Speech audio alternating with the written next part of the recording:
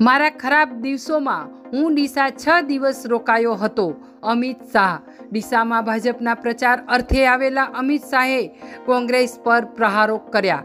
ડીસા વિધાનસભા બેઠકના ભાજપના ઉમેદવાર પ્રવીણ માળીના પ્રચાર અર્થે આવેલા કેન્દ્રીય ગૃહમંત્રી અમિત શાહે પોતાના ખરાબ સમયમાં છ દિવસ ડીસામાં પસાર કર્યા હોવાનું જણાવી વડાપ્રધાન નરેન્દ્ર મોદીએ બનાસકાંઠા જિલ્લાની શકલ બદલી નાખી.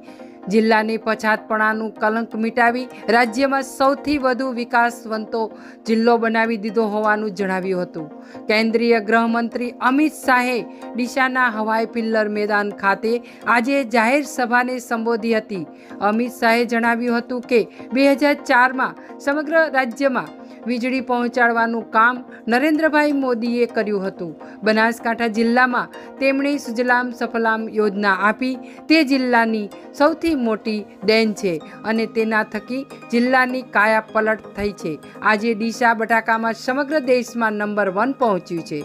હવે એટલું જ ભૂજલ યોજના આવે એટલે બનાસકાંઠાની રહી સહી પાણીની સમસ્યા પણ હલ થઈ જશે.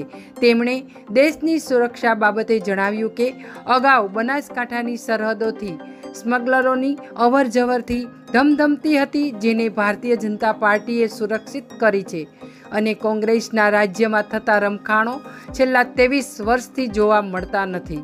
તેમણે રાહુલ ગાંધી અને કેજરીવાલ પર પ્રહાર કરતા જણાવ્યું હતું કે તેઓ સર્જિકલ સ્ટ્રાઇકની સાબિતી માંગતા હતા જ્યારે સોનિયા અને મનમોહનની સરકારમાં પાકિસ્તાનથી આલિયા માલિયા જમાલિયાઓ ગમે ત્યારે ઘૂસી જતા હતા.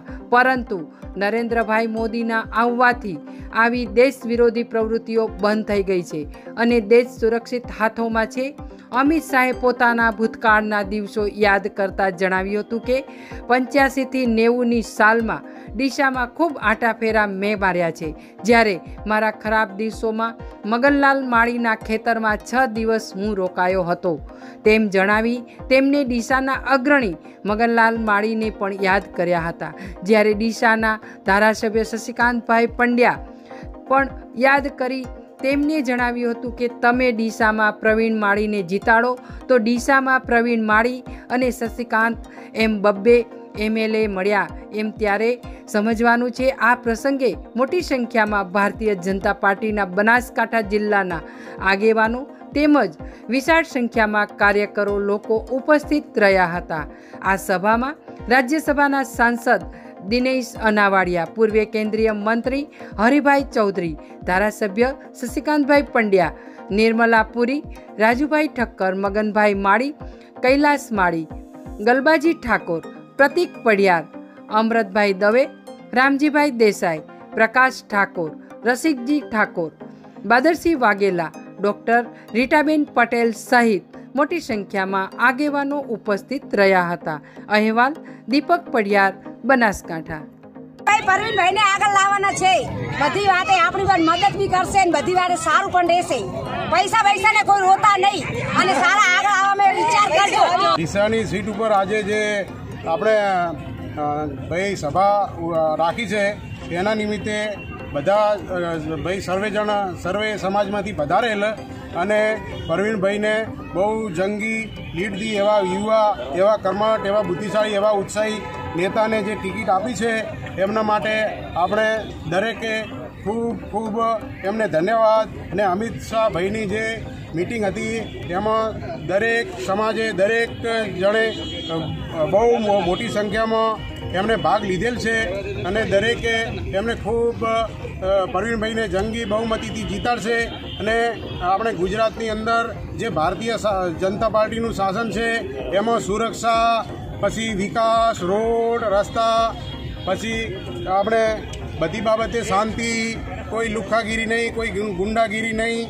દરેકને સાથે લઈને ચાલવાનું અને ગુજરાતની અંદર બહુ સરસ વિકાસ અને એવું કે ભારતના કોઈ ખૂણામાં વિકાસ નથી, એવું સમૃદ્ધ આપણું ગુજરાત રાજ્ય એમાં બહુ સારી રીતે વિકાસ કરેલું છે ને પ્રવીણભાઈને ખૂબ ખૂબ જે યુવા યુવા અને ઉત્સાહી નેતા છે, એમને જે આપણે ભાજપની મોવડી મંડળે જે બહુ ઉત્સાહી નેતાને ટિકિટ આપી છે દિશા માટે બહુ સારો ઉમેદવાર એમને પસંદગી કરી છે, એમના માટે મોવડી મંડળનો ખૂબ ખૂબ આભાર અને દરેક જનતાએ એમને ખૂબ ખૂબ બહુ જંગી લીડથી જીતાડશે. દરેકે સમાજે બહુ મોટો એમને ટેકો જાહેર કર્યો છે. અને એમને જંગી લીડથી જીતાડશે. ભારત માતા કી જય અસ્તુ. આજે ડીસા વિધાનસભા મતદાર વિસ્તારની અંદર અમિતભાઈ શાહની જોરદાર જંગી સભા થઈ છે.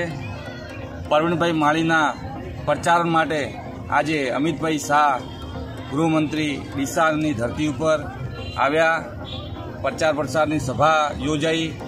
જોરદાર જે ભારતીય જનતા પાર્ટીએ જે વિકાસ કર્યા છે કાશ્મીરની અંદર ત્રણસો સિત્તેર કલમ, રામ મંદિર, રોડ, રસ્તા, જે બી, જે ભારતીય જનતા પાર્ટીએ જે વિકાસ કર્યા છે, એની તો કોઈ વાત થાય જ નહીં. બધી વિકાસની ગાથા અમિતભાઈ સાહીએ આજે સાહેબે આજ કરી અને ડીસાની જનતાએ આજે પરવીણભાઈ માળીને જીતાડવા માટે જે સમર્થન આપ્યું છે અને અમિતભાઈ શાહ આજે દિશાની ડીસાની અંદર આવી અને ભારતીય જનતા પાર્ટીની જે વાત કરી અને જન જન સુધી ગરીબ માણસો સુધી બધા વ્યક્તિઓ જોડે બધી જ રીતે આ વાત પહોંચે વિકાસની એ માટે સભાઓ યોજાઈ હતી અને પરણભાઈ માણીને ડીસા જંગી બહુમતીથી જીતાડશે એવી ડીસાના વાસીઓએ ખાતરી પણ આપી છે. જય જવાન જય કિસાન. ભારત માતા કી જય. મારું નામ રાજુભાઈ સુંદેસા. બીજું એવું લાગે છે કે ડીસા તેર વિધાનસભામાંથી પ્રવીણભાઈનો બહુ મોટો વિજય થશે. પહેલી વાર ડીસાની સીટી એટલે મતથી વિજય થશે. કે આમ અમિતભાઈને લાગશે કે ના, ડીસાની પબ્લિકે પ્રવીણભાઈને સાથ આપ્યો છે, સહકાર આપ્યો છે.